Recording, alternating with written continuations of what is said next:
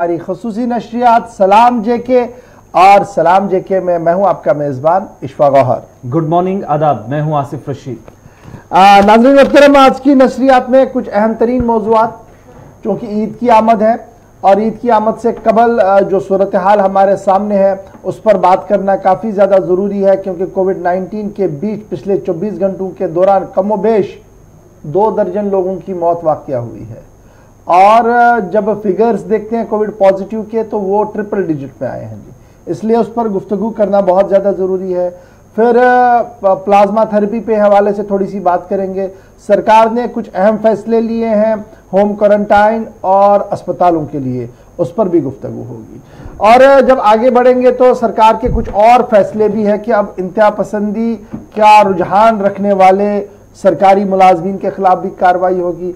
क्या कुछ कार्रवाई होगी, तफसील के साथ आपके सामने सारा प्रोग्राम में हम बता देंगे। और सरकार ने जो हलफनामा दायर किया सुप्रीम कोर्ट के अंदर कांग्रेस के सीनियर लीडर के लिए, उस पर क्या कुछ अभी की ताज़ा तरीन खबर है, उस पर भी हम ग्राउंड ज़ीरो पर चलकर बात करने की कोशिश करेंगे। और अवलन आज की प्रोग्राम की जो शुरू आज के प्रोग्राम का जो शुरुआत है, वो सरहद से करते हैं, क्योंकि सरहद पर तनाव और कशीदगी बरकरार है। रफाइल तो आ चुका है भारत के अंदर, लेकिन इसकी गूंज पाकिस्तान और चाइना में भी सुनाई दे रही है। इन सभी मुद्दों पर आज बात करेंगे। इस उम्मीद के साथ कि 90 मिनट के इस प्रोग्राम में आप हमारा साथ देंगे। नौ बजकर चालीस मिनट पर हम अपनी फ़ोन लाइंस को खोल देंगे आपके लिए। आप अपनी आरा ज़रूर रखिएगा। और ईद के हवाले से आज मैं मुंतजर रहूँगा कि ईद के हवाले से भी थोड़ी सी गुफ्तगु आप करें कि आप क्या सोचते हैं कि कैसे हमारी ईद होनी चाहिए। सुन्नत इब्राहिमी अपनी जगह। लेकिन ईद कैसे बनाए, इस पर थोड़ी सी गुफ्तु ज़रूर आप भी कीजिएगा और अपने मसाइल भी ज़रूर बयान कीजिएगा। और आज शुरुआत में जरा सीधी बात जो होगी, वो लद्दाख की होगी।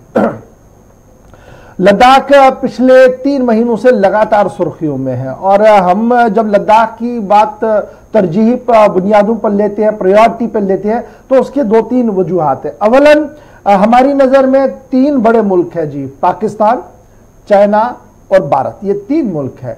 और तीनों मुल्क न्यूक्लियर है पावर्स है। तीनों मुल्कों के पास वो कीमियावी हथियार है, अगर इसका इस्तेमाल किसी ने भी गलती से भी किया तो पूरी दुनिया के अंदर तबाही मचनी है।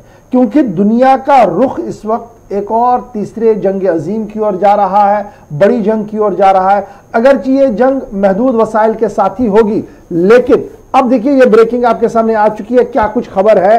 और खबर इस वक्त जो आ रही है आसिफ आपको डिटेल में बताएँगे। बिल्कुल चीन की तरफ़ से एक बड़ा बयान आया है और कल देर शाम ही जहाँ भारत ने डीएस्केलेशन की बात की थी और उसके बाद भारत में चीनी सफीर सिन विंगजोंग का बयान सामने आया है जो एक बातचीत के दौरान आ, कुछ साबित जो आ, भारत के चीन में या पाकिस्तान में सफीर रहे हैं उनसे बातचीत कर रहे थे उनके सवालों का जवाब दे रहे थे और इस बीच उन्होंने दो तीन अहम बातें कही जहाँ पर लद्दाख के अंदर मौजूदा सूरत हाल पर उनसे बात हुई तो उसके जवाब में उन्होंने लद्दाख के अंदर, जो इस वक्त कशीदगी लाइन ऑफ़ एक्चुअल कंट्रोल पर है, उस पर एक बार फिर चीन का बयान है और पेंगोंग सो झील के साथ साथ गलवान वादी पर भी चीन ने दावा पेश किया है। और इतना ही नहीं, चीन के मुताबिक जो भी एग्रीमेंट्स हुए थे, जितने भी मुआदे हुए हैं कहीं पर भी चीन ने खिलाफ वर्जी नहीं की है, बल्कि भारतीय अफवाज ने भी गलवान वादी के अंदर दाखिल होकर वहाँ पर जो 15 जून को हुआ उसका भी ज़िक्र किया और किसी भी माहदे की खिलाफ वर्जी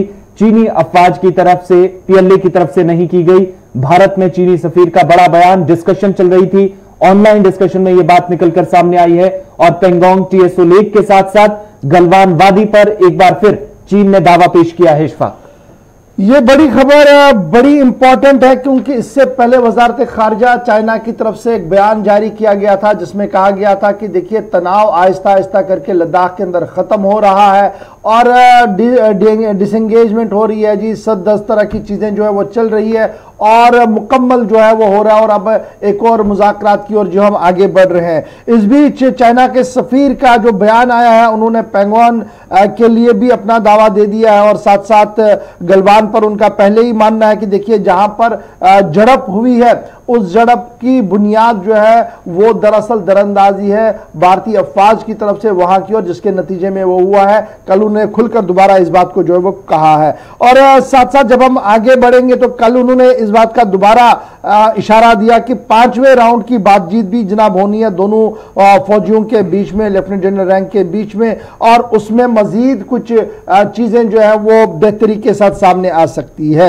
ये बात काबिल ज़िक्र है कि उन्होंने कहा कि जिस तरीके से भारत के अंदर एक पब्लिक परसेप्शन बन रहा है कि चाइना के खिलाफ बड़ी आक्रामक कार्रवाइयाँ होनी चाहिए यह दरअसल तबाही के लिए एक दस्तक है और इससे हमने रुकना चाहिए। यह चाइना के सफीर का जी मानना है। साथ साथ उनका मानना कि ताइवान, जिंगजैंग हांगकांग और साउथ चाइना सी के अंदर जिस तरीके की सूरत हाल बनाई जा रही है और भारत का ओपिनियन जो इस पर बन रहा है, वो सरहन सही नहीं है और ये सारे इलाके जो है, वो चाइना के हैं। ये आपको जनाब एक बार ये उन्होंने कल दोबारा जो कही है। सबने कल ताइवान, हांगकांग जिंगजैंग जिगजैग के मामला को इंटरनल अफेयर्स बताया और कहा कि जो लोग हमें वहाँ पर मुदाखलत करते हैं, दरअसल वो इंटरनल अफेयर्स में हमारे मुदाखलत करते हैं और चाइना किसी भी सूरत में इसको बर्दाश्त नहीं करेगा। कल ये जब ये सारी चीज़ें सामने आ रही थी तो कल ही फॉरेन अफेयर्स जो भारत के वजारत खारजा के तर्जुमान है, उनकी तरफ़ से भी बयान सामने आया। अनुराग श्रीवास्तव साहब का भी बयान जो है वो सामने आया है। और अनुराग श्रीवास्तव ने जहाँ वजारत खारजा चीन के वजारत खारजा के बयान को मुस्तरद किया है और कहा कि अभी डिसंगेजमेंट पूरी तरह से नहीं हुई है और जो माहिदा चौथे राउंड के दौरान हुआ था, उस पर कार्बन और अमल दरामद जो है वो चीन की तरफ़ से नहीं की गई है। और जब तक वो चीन की तरफ़ से पूरी तरह से कार्बन नहीं की जाएगी, तब तक जनाब वो मामला जो है वो नहीं चलेगा, आगे नहीं बढ़ेगा। और पाँचवें राउंड की बातचीत से पहले बहुत ज़्यादा ज़रूरी है कि ग्राउंड को एसेस, वेरीफाई और रिवेरीफाई किया जाए। इस बीच चीनी सफीर का बयान भी है, जिसमें उन्होंने ये तमाम चीज़ें इसका ज़िक्र किया और आगे किस तरह के हालात रहेंगे। दो ढाई महीने के बाद जब झड़प के मकाम पर क्या कुछ हुआ, उसके बाद चीन अब क्या सोचता था वो भी आपको फटाफट से सुनाते हैं और उसके बाद एमईए का बयान भी छोटा सा एक बयान है। कल देर रात उन्होंने भी क्या कहा डिसएंगेजमेंट के हवाले से लेकिन पहले चीनी सफीर का बयान आपको सुनाते हैं I think that uh, China and India has um, uh, signed uh, a number of uh, agreements and uh, protocols for the uh, troops to uh, uh, abide by those rules. And clearly, the Chinese troops, uh, they always patrol uh, in the Chinese side and uh, not across the line of actual control. I think that is very clear that uh, the right and wrong for these incidents or frictions along the line of actual control, is very clear that uh, we found that it is the, the Indian side that uh, first went across the line, provoked and also violently attacked Chinese officers and soldiers. For example, in the Galavan Valley, that uh, when they were going to negotiate, that lead to violent uh, attack, and that also lead to the uh, intense physical clashes between the two sides. And the Chinese troops always exercise self-restraint and take all the necessary steps to avoid an escalation of the situation. But uh, having said that, we have to also react properly and defend ourselves. So I think the line of actual control is clear, and uh, the Chinese troops in the front line they also know and they patrol in those areas for many years. And we also abide by those agreements we have signed. And, and Chinese Foreign Minister Ibongi, in their conversation. कहाँ पर इस वक्त खड़ी है लेकिन जो पिछला बयान आया था चीन की तरफ़ से उस पर भारत की तरफ़ से रिएक्ट किया अनुराग श्रीवास्तव जो कि वजारत खारजा के तर्जुमान है क्या कुछ उन्होंने कहा जरा वो भी आपको सुनाते हैं Chinese foreign minister इबोंगी in the conversation on 5th of July there has been some progress made towards this objective, but the disengagement process has as yet not been completed. The senior commanders of the two sides will be meeting in the near future to work out steps in this regard. As we stated earlier, the maintenance of peace and tranquility in the border areas is the basis of our bilateral relationship. Therefore, we expect that the Chinese side will sincerely work with us for complete disengagement and de-escalation and full restoration of peace and tranquility in the border areas at the earliest, as agreed by the two special representatives. चलिए दोनों तरफ़ के बयान हमने आपको दिखाए, जो पिछले तीन दिनों के अंदर पेशरफ हुई पहले चीन का बयान, उस पर भारत का रिएक्शन और अब दोबारा चीन की तरफ़ से बड़ा बयान, पेंगोंग सो झील के साथ साथ पूरी गलवान वादी पर चीन का एक बार फिर दावा बयान हमने आपको सुनाया चीनी सफीर, जो कि दिल्ली के अंदर मौजूद थे और बरह एक कॉन्फ्रेंस जो तीन ममालिक से बैठे हुए थे उनके साथ मेहमान उनके सवालों के जवाब दे रहे थे और इसके साथ इसके साथ साथ एक बड़ा बड़ा इंपॉर्टेंट बयान जो है वो फौज की तरफ़ से भी आया है और उनका मानना है कि stand off at Pangong Tso patrol point seventeen A Gorkha Gogra post आ, का आर्मी की तरफ़ से जो सोर्सेज से बयान आया कि अभी वो पूरी तरह से जनाब हल नहीं हुआ है और पाँचवें राउंड की बातचीत से कबल बहुत ज़्यादा ज़रूरी है। कि इस चीज़ को जो है वो देखा जाए। और ये भी क्लियर किया जा रहा है कि शायद आज बातचीत होनी थी। सुबह तक हम इस बात को दरियाफ्त कर रहे थे कि आज बातचीत होनी है, नहीं होनी है, कोई कंफर्मेशन नहीं हुई, लेकिन ये माना जा रहा है कि रवा हफ़्ते ही इस पूरे मामले पर पांचवी पांचवी राउंड की बातचीत जो है वो होगी और सूरत हाल जो है वो हमने आपके सामने जनाब सारी रख दी है। तो ये तो चीन वाला मामला था, लेकिन पाकिस्तान से क्या कुछ खबर है वो भी आपको फटाफट से बताते चले। रफाइल जेट का भारत आना और उसके साथ साथ साउथ एशिया के अंदर खलबली जो है वो काफ़ी ज़्यादा तेज हो गई है, सियासत जो है वो काफ़ी काफ़ी तेज हो गई है। वजारत खारजा के तर्जुमान और पहले वज़ीर खारजा, पाकिस्तान की अगर आप बात करें, शाह मोहम्मद कुरैशी, उनकी तरफ़ से भी बयान जो है वो सामने आया है और उस बयान के अंदर उन्होंने साफ़ किया कि जिस तरीके से हथियारों की रेस लगी हुई है भारत के अंदर एक के बाद एक नया हथियार लाया जा रहा है। उससे कयाम अमन जो है वो बड़ा मुश्किल हो जाएगा जी इस खत्े के अंदर। और सभी देश अगर हथियार खरीदने के लिए लगे तो सूरत हाल जो है वो खराब हो सकती है। इसलिए आलमी इदारे जो है और आलमी बरदरी जो है वो इसको जरा देखे और इसको कम करने की कोशिश करें। ये तो वजी खारजा पाकिस्तान का बयान आया था। कल उनकी तरफ़ से जो फॉरन ऑफ़िस पाकिस्तान है, आयशा फारूक की, उनकी, उनका भी हफ्तावार ब्रीफिंग होती है। और कल की ब्रीफिंग में भी बड़ा इंपॉर्टेंट जो है वो ये है कि कल उन्होंने अपनी ब्रीफिंग के दौरान इस बात को दोहराया कि देखिए सुर, सूरत हाल जो है वो इंतहाई संगीन बनी हुई है और जिस तरीके से हथियार खरीदे जा रहे हैं इससे अमन को जी बड़ा खतरा लग रहा है। आपको याद होगा कि तेईस साल के वक्फे के बाद भारत ने रफाइल जब खरीदा इसके पहले सुखोई थर्टी जेट्स खरीदे गए थे और तेईस साल के वक्फे के बाद अब रफाइल जो है वो खरीदा गया है और ये खरीदारी के फ़ौरन बाद जो है वो सूरत हाल इंतहाई संगीन दिख रही है।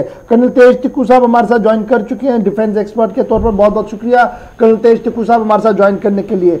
सिचुएशन अब आहिस्ता आहिस्ता करके बड़ी क्लियर दोबारा हो रही है, जहाँ फॉरेन ऑफ़िस चाइना का स्टेटमेंट आया कि जनाब डिसंगेजमेंट और सब चीज़ें चल रही हैं एज पर शेड्यूल और फिर भारत के वजारत खारजा एक्सटर्नल अफेयर मिनिस्ट्री ने उसको रिजेक्ट किया।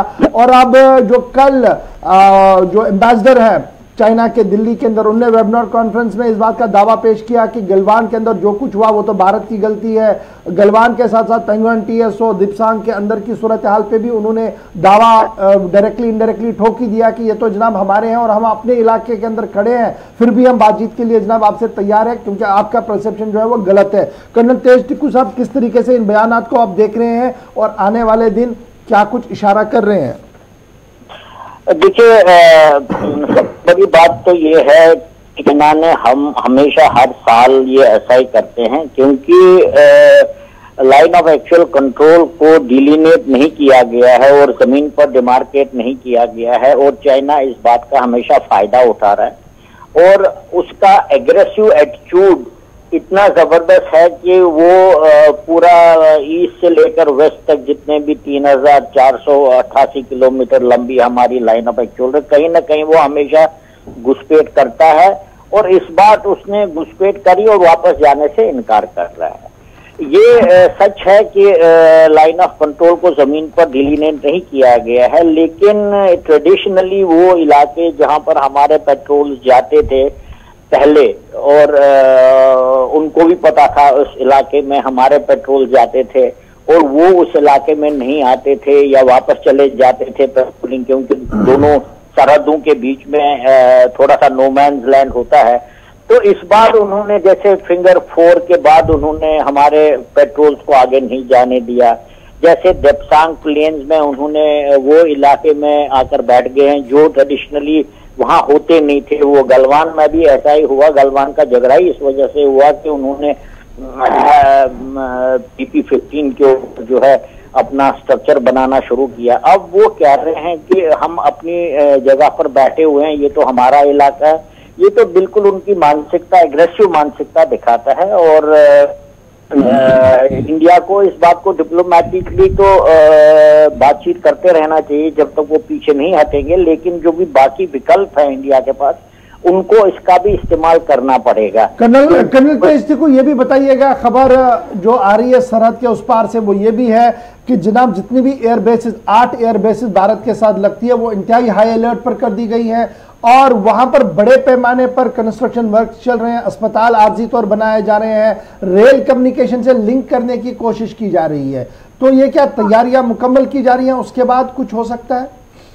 नहीं, अब देखिए, ऐसा है, उसके बाद होगा या उसके बाद नहीं होगा, ये तो अंत तक पता भी नहीं चलेगा। लेकिन ये बात तो ज़रूर है कि जिस एग्रेशन की वजह से चाइना ने हमारे इलाके में आकर घुसपैठ करी और फिर वहाँ बैठे हुए हैं और फिर उसको जस्टिफाई कर रहे हैं तो इंडिया को तो हर प्रकार की तैयारी करनी पड़ेगी और ये तैयारी जो आपको दिखाई दे रही है, वो इसी का नतीजा है। चाइनीज़ एग्रेसिव एटीट्यूड का नतीजा है और चूँकि वो हमारी टेरिटरी में बैठे हैं, उनको वापस निकलना पड़ेगा और अगर डिप्लोमेटिक लेवल पर बातचीत कामयाब नहीं होती है तो फिर डिप्लोमेटिक का डिप्लोमेसी का अगला दौर तो मिलिट्री कन्फ्रंटेशन होती है तो इंडिया को तो पूरी तैयारी करनी पड़ेगी उसकी, और यही वो आप देख रहे हैं ज़मीन के अंदर। चलिए, बहुत बहुत शुक्रिया कर्नल तेज को हमारे साथ ज्वाइन करने के लिए। चीनी फौज लद्दाख से पूरी तरह से नहीं हटी है। वजारत खारजा की तरफ़ से कल इस बात की तस्दीक कर दी गई है। चीन फौज को वापस बुलाए। एक बार फिर अपील जो है वह भारत की तरफ़ से की गई है, क्योंकि खत्े के अंदर अमन कायम करने के लिए बहुत ज़्यादा ज़रूरी है कि डीएस्किलेशन हो। यहाँ पर फौजी जमाव जो है वो खत्म हो, क्योंकि मैंने पहले ही कहा कि तीन न्यूक्लियर पावर्स है और इन इन तीनों के बीच अगर एक ने भी गलती से भी कोई ऐसी गलती की, वो नतीजा जो होगा वो इंतहाई खतरनाक होगा और वो पूरी दुनिया को अपनी लपेट में ले सकता है। क्योंकि साउथ चाइना सी से लेकर बॉर्डर्स तक जब आप देखेंगे तो सूरत हाल इंतहाई तशवीश और खतरनाक बनी हुई है। जी आसिफ। चलिए अब कोविड 19 के हवाले से फटाफट से आपको एक खबर दिल्ली से भी बताते चले और उसके बाद हम जम्मू कश्मीर वापस आपको लिए चलेंगे क्योंकि दिल्ली के अंदर जहाँ पर रेड जोन की एक बड़ी तादाद थी 100 से ज़्यादा रेड जोन फ़र्स्ट स्टेज में जहाँ पर केसेस तीस हज़ार तक पहुँचे थे, उस वक्त इंतजामिया की जानब से या दिल्ली सरकार की तरफ़ से फैसला लिया गया था। तो उसके बाद से ही आज कई हफ़्ते या कई माह गुजर चुके हैं जहाँ पर अब भी दिल्ली के अंदर कंटेनमेंट जोन या रेड जोन वाले इलाके हैं जहाँ पर सख्त पाबंदियाँ आयद की गई हैं। और इस बीच आपको ये भी बताते चलें कि मौजूदा सूरत हाल को देखते हुए दिल्ली सरकार की तरफ़ से वजारत सेहत से मुसलसल गुजारिश की जा रही थी कि कम से कम आने वाले दिनों में, अब चूँकि केसेस कम हुए हैं दिल्ली के अंदर, राजधानी के अंदर तो यहाँ पर कंटेनमेंट जोन है, सख्त पाबंदियाँ हैं। वहाँ कंटेनमेंट जोन के बाहर तो ज़रूर नरमी बरती जा रही थी, लेकिन इन इलाकों के अंदर भी राहत पहुंचाई जाए। और सिलसिले में वजारत सेहत की तरफ़ से अब एक वक्त ज़रूर लिया जा रहा है। तो कम वक्त के अंदर, एक दो हफ्तों के अंदर से वजारत की तरफ़ से कहा जा रहा है कि बहुत जल्द कंटेनमेंट जोन्स के अंदर, जिन जिन इलाकों के अंदर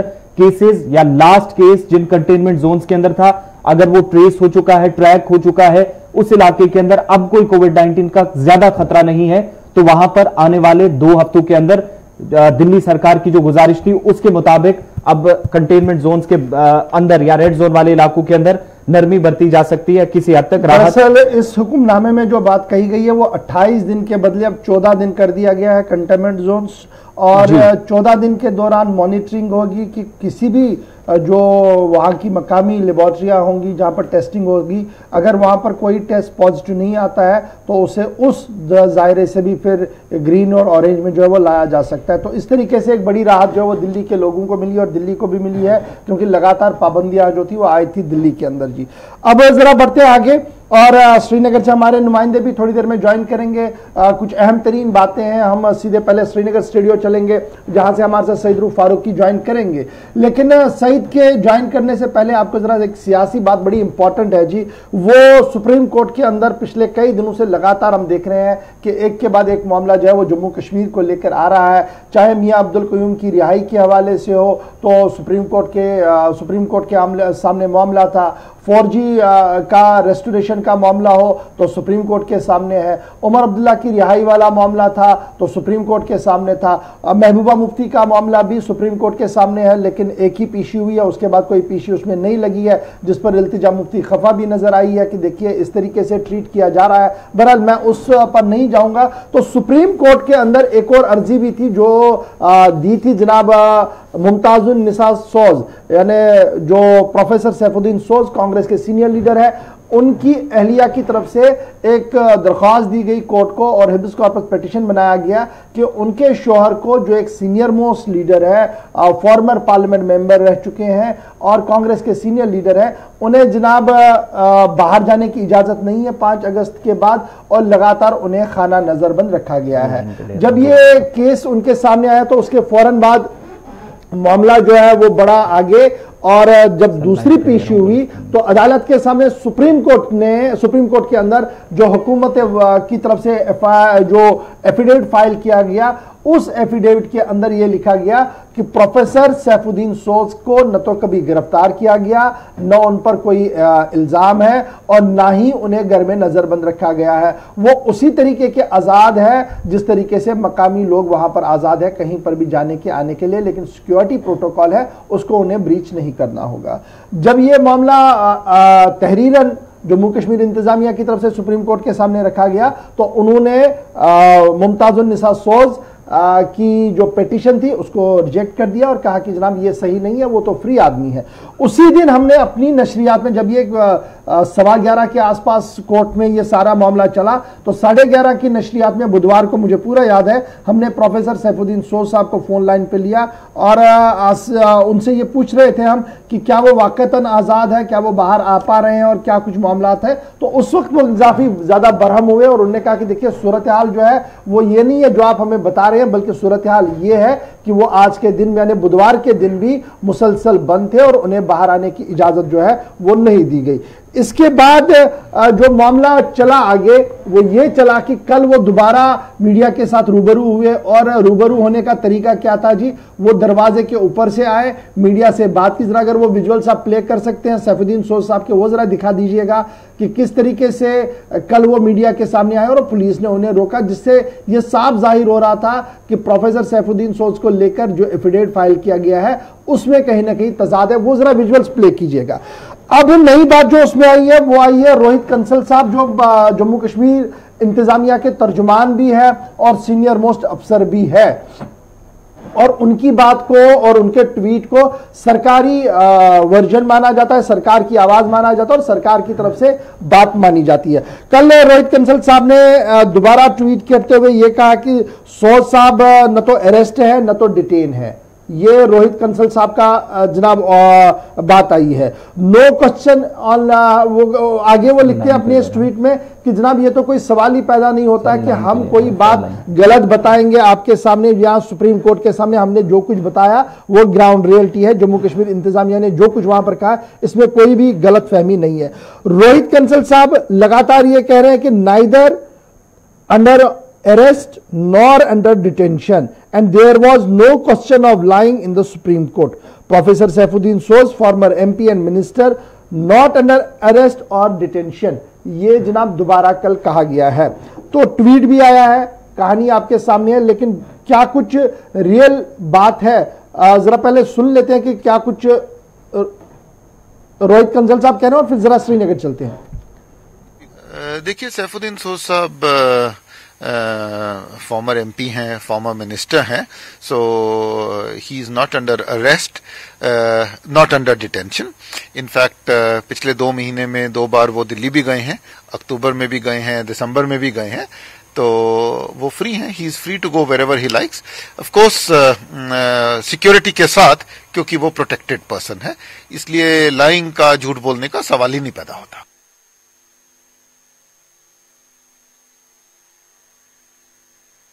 ये आपको बस लाइन पे ले रहे हैं, बस ऐसे ही रहेंगे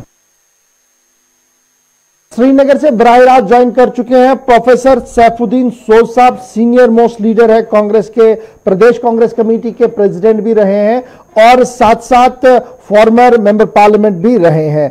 तो प्रोफेसर सोज साहब बहुत बहुत शुक्रिया ज्वाइन करने के लिए। पिछले दिनों जब बुधवार को आ, सुप्रीम कोर्ट के सामने मामला पेश आया था आ, तो उस वक्त भी आपने हमारे साथ पहले रिएक्ट करते हुए कहा था कि देखिए मुझे बाहर जाने की इजाज़त नहीं है और सब कुछ जो है वो झूठ कहा जा रहा है। कल रोहित कंसल साहब का बयान भी आया है और ट्वीट भी आया है। तो असल हकीकत आज जरा बता दीजिएगा कि क्या है कल रात से अभी तक क्या कोई फ़र्क आया है सिक्योरिटी एस्टेब्लिशमेंट के अंदर? देखिए, रोहित कंसल बेचारा क्या करेगा, उसको कहा गया है झूठ बोलने के लिए। ये सरासर झूठ है, मैं घर में डिटेंशन में हूँ फिफ्थ अगस्त 19 से। हाउस अरेस्ट हूँ मैं? वो तब भी था, आज भी वही बात है। कल मैंने दो बार बाहर जाने की कोशिश की। तो कश्मीर पुलिस बेचारी वो क्या करेंगे? उनको ऊपर से ये तो सब जबानी जबानी है। सबसे बड़ी मुसीबत कश्मीर में ये है कि चाहे सेंट्रल गवर्नमेंट हो, चाहे ये गवर्नमेंट हो, ये जबानी जबानी बहुत कानून का, कानून के खिलाफ करते हैं। हकीकत ये है कि ये रोहित कंसल की क्या औकात है? यहाँ की जो गवर्नमेंट है या वहाँ की गवर्नमेंट है, इन्होंने जो हिंदुस्तान का आइन है, उसकी बेहरमती की है। इनको ये शर्म नहीं है कि वो किताब निकालें जिसका आइन हिंद कहते हैं और हमारा भी जम्मू कश्मीर का आइन है। दोनों में कोई तजाद नहीं है और वो शहरी आज़ादी जो है वो सलब की गई है खत्म की गई है। अभी मतलब झूठ बोला जा रहा है और सार, सारा कश्मीर देख रहा है। अभी तो उनने तार बिछाई है बाहर ताकि कोई मेरा रिश्तेदार भी ना आ सके। और मैंने कोई ऐसा खतरनाक काम नहीं किया है जि, जिसके एवज ये कर रहे इसका मतलब ये है कि इनको बहुत आसान लगता है शहरी आज़ादी को सर्व करना। तो इसकी कीमत इस गवर्नमेंट ये, ये गवर्नमेंट क्या है? ये तो कुछ है नहीं ये तो मामूली अरेंजमेंट है लेकिन जो गवर्नमेंट दिल्ली में है उनको चुकाना पड़ेगा बैन अवी सतह पर। आज की दुनिया में जो है अभी जो मैं आपको बोल रहा हूँ तो तो ये सारे आलम में फैल रही है। जी। तो इसलिए एक बात है, ये बड़े नादान है। ये शॉर्ट साइटेड लोग हैं। इनको पता नहीं है कि हिंदुस्तान के आइन की बेहरमती करते हैं ये, जिसमें शहरी आजादियों की पूरी हिफाजत है। और बिला वजह कर सबसे बड़ी मर्ज इनको ये होगी, ये कोई कागज़ पर आपको लिख के कुछ नहीं दे देंगे। दिल्ली से यहाँ तक ये जबानी हुक्म चलाते हैं और गैर आइनी काम करते हैं। और मतलब सवाल है इनको शर्म नहीं आ रही। अभी आई एस अफसर ये ये बताइएगा प्रोफेसर सोच साहब अब नेक्स्ट कोर्स ऑफ़ एक्शन क्या रहेगा? करना चाहिए? देखिए नेहरू ने आई एस कार्डर जो बन गया था तो इसको बड़ी कदर से देखता था वो। सो साहब अब ये बताइएगा कि अब नेक्स्ट कोर्स ऑफ़ एक्शन क्या रहेगा आपका? सो साहब नेक्स्ट कोर्स ऑफ़ एक्शन क्या रहेगा? नहीं वो मैं देखूँगा मैं देखूँगा कम अज कम ये मैं सोचता हूँ। आईनी जो बशीर हैं, उनको देखता हूँ कि भाई एक एक बड़ी खराबी है जम्मू कश्मीर की एडमिनिस्ट्रेशन में। ये हर चीज़ जबानी करते हैं। चलिए, बहुत बहुत शुक्रिया हमारे साथ बात करने के लिए। प्रोफेसर सैफुद्दीन सोज बता रहे थे, न तो तब और ना ही कल रात से अभी तक कोई तब्दीली उनके घर के पास हुई है और लगातार जो गारत है वो लगी हुई है और उन्हें किसी से भी मिलने नहीं दिया जा रहा है। चलिए ये बात तो प्रोफेसर सैफुद्दीन सोज के हवाले से अब जब बात जम्मू कश्मीर इंतजामिया की हुई है तो आपको आ, कुछ और खबरें भी बताते हैं जम्मू कश्मीर इंतजामिया के हवाले से ही।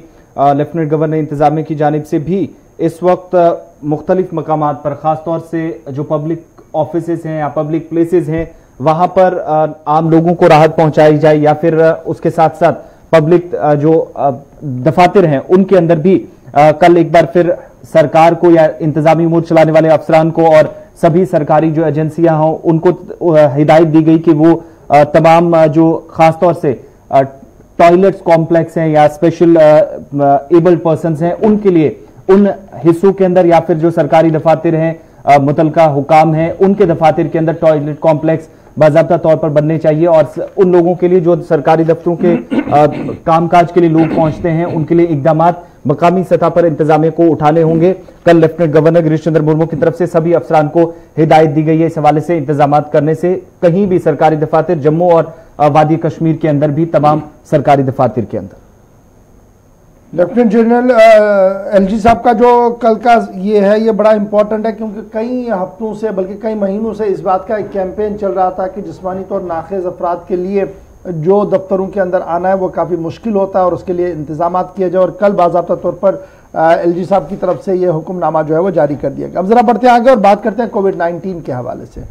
और जब हम कोविड नाइन्टीन की बात करते हैं तो कोविड 19 की बात जब जम्मू कश्मीर की हम करेंगे तो सूरत हाल जो है, वो जनाब इंतहाई संगीन बनी हुई है और लगातार पेशेंट्स का आना जो है, वो जारी है। और एक मोहतात अंदाजे के मुताबिक जो अभी हमारे पास इतलात मौसू हो रही है, सबसे ज़्यादा मौतें जो है वो पिछले 24 घंटों के दौरान हुई है जम्मू कश्मीर के अंदर। उसमें सबसे बड़ा पार्ट जो है वो कश्मीर प्रोविंस का है। इतनी ज़्यादा मौतें जो है हुई हैं। 450 से ज़्यादा नए केसेस पिछले 24 घंटों के दौरान आए हैं और कल रिकवरी जो है वो तकरीबन 520 लोग रिकवर भी हुए, ये अच्छी बात है। लेकिन जो कुल मिलाकर हम फिगर्स देखते हैं तो उसमें आम लोगों के साथ साथ सिक्योरिटी एजेंसीज के लोग भी हैं जो कल पॉजिटिव पाए गए हैं। और जो एदाद शुमार अभी हमारे सामने आ रहे हैं, वो कश्मीर सूबे की अगर हम देखें तो सबसे फिरिस्त पर जो है, वो श्रीनगर शहर है, उसके बाद बारामूला है, उसके बाद कुलगाम, शुपियान, अनंतनाग, पुलवामा, कुपवारा, बडगाम, बांडीपोरा और गांधरबल बिल तरतीब है। और जम्मू सूबे की जब हम बात करते हैं तो जम्मू सबसे पहले है उसके बाद रजौरी, रामबन कठुआ उधमपुर सांबा डोडा, पुंछ, किश्तवाड़ और रियासी इलाका है जी। तो कुल मिलाकर यह सूरत हाल जब हो और ईद की आमद हो तो सूरत हाल क्या कुछ ग्राउंड पर है, इस पर हम ज़रूर गुफ्तु करेंगे।